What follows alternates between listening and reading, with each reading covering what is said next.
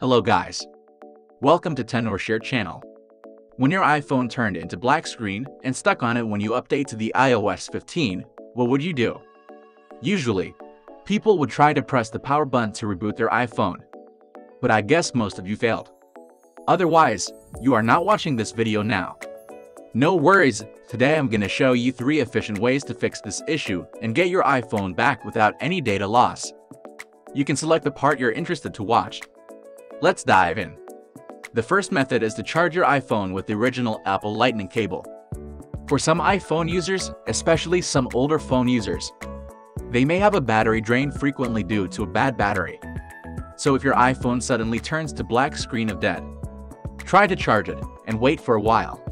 Your iPhone would have a chance to get back to life.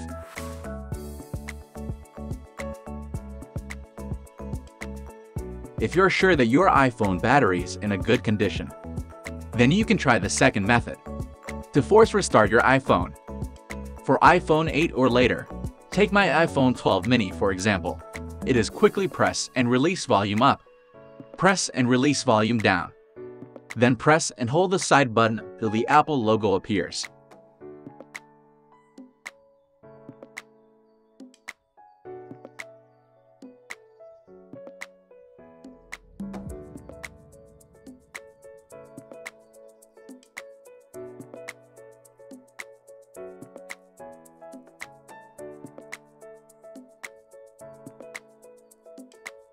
But if you still failed, you should consider using an iOS system repair tool to fix this issue.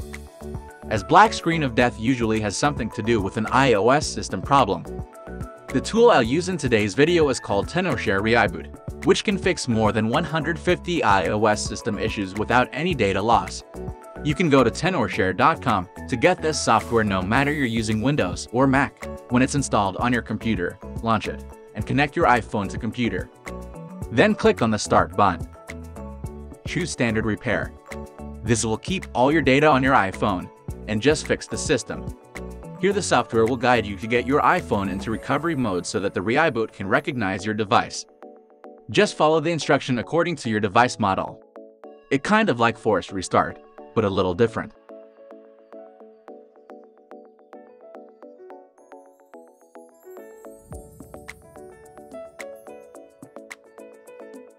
When you see disconnect the computer icon, it means your iPhone is in recovery mode. Now we go back to Reiboot.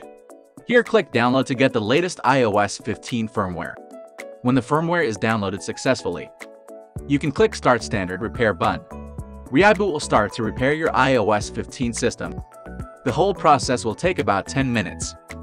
So you just wait for a while and keep the iPhone connected during the process. When it shows standard repair completed, your iPhone would become normal. Let's check it out.